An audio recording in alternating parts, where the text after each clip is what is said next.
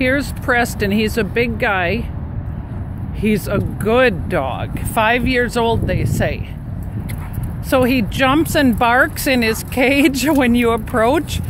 But as soon as you leash him, look how good and come outside. He is so good. Walks good on leash. He's funny in the lot. He goes bounding around like a puppy. He's very good.